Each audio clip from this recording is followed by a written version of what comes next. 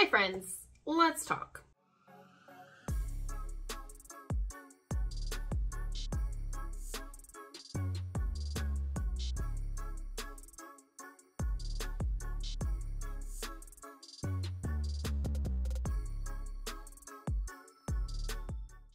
I have been thinking a lot lately about mental health and physical health. And for 29 years of my life, I have focused strictly on the physical health. I have never once tried to focus on what was in my little noggin.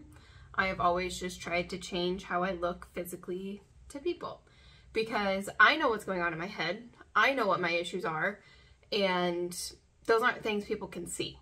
However, they manifest as things people can see, aka my disordered eating, which leads me to have these huge weight fluctuations. Um, and as well as my ADHD, like if you know me, you you know I have ADHD symptoms. So like the things that go on in our head, they manifest themselves in our everyday lives, no matter what we would like to think. So I kind of want to talk to you guys about what has been happening in my head and in my journey ever since I started therapy this summer. Now, this video is not me telling you, you need to go to therapy and everything will be fixed, or you need to go to therapy and your physical health is going to get 100 times better.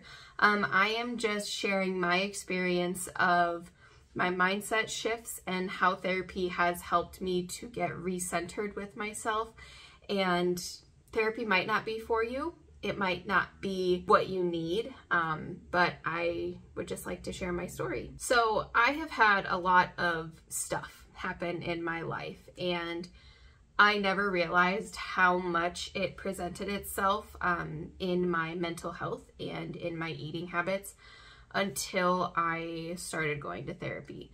A lot of the things that we talk about are centered around my anxiety and ADHD specifically. However, there are a lot of times where we're talking about things that I can implement for my anxiety and ADHD. And in my head, I'm like, this like directly correlates to my overeating and my binge eating, like how I self sabotage when I am feeling less than or when I'm having those anxious moments. I am soothing myself with food because that's all that I've ever known how to do because I have never been taught how to cope with grief and I have an older family um, so I have been attending funerals and having people in my life pass away. So from the time I was like three years old, you know, up until a couple of years ago, I've had family members um, passing and I've just never been taught how to handle that grief. Um, so when I'm sad, I eat. and I'm sure a lot of you feel the same way um, with really any emotion. If I'm sad, happy, anything, I, I just eat. That's, that's the way that I soothe myself and I congratulate myself is by eating. I've also had um, some pretty significant trauma and I do plan on sharing that with you guys um, probably next year because I feel like it is very important to share and destigmatize. But that whole instance was just something that like rocked my world.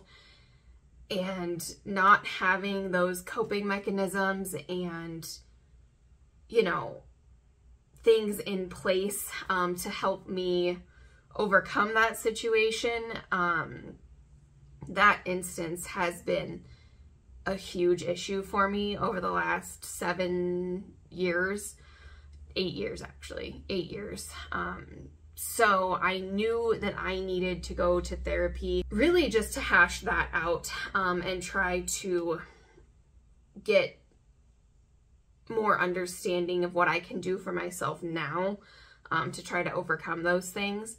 And as in doing that, I have realized that I have used disordered eating to cope. And I know you hear people say it all the time that yes, your trauma and things like that affect your eating, but you really don't. I didn't really realize how much it did until I started delving deeper and started to try to make changes in my brain. I know I mentioned this a little bit um, in another one of the vlogs, but I kind of had like my breaking point over the summer of like, I need to fix this. And keto is just one part of the puzzle and it's not fixing everything else. You know, it's a 50 piece puzzle here and this is keto. So there's 49 other pieces that are working in touch here and I'm only focused on this tiny one right here.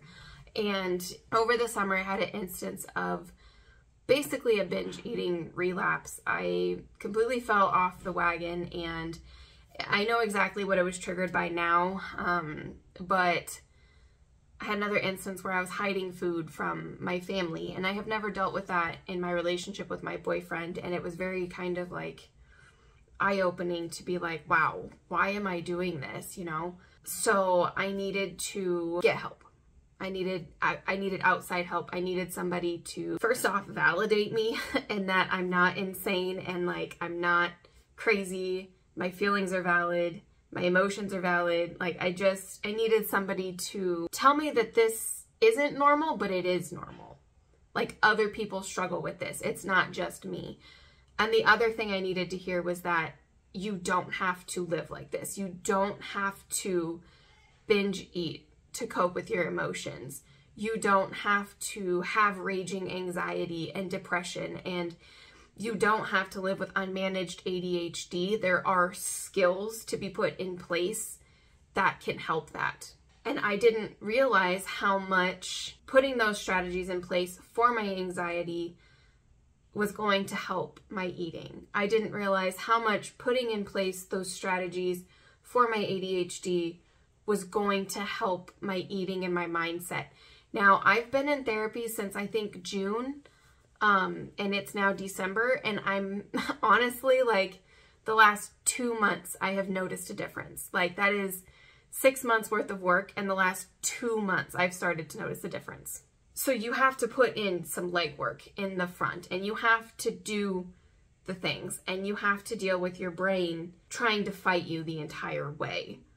But over these last two months, I have noticed that I'm thinking of food differently. I am able to eat non-keto foods and not completely go off of the rails. I'm just able to focus more on all of it, on my mental health and my physical health. So I started this channel and my journey to health in 2020, October of 2020, and I did a very good job for a year and a half. I did very well. I stuck to keto.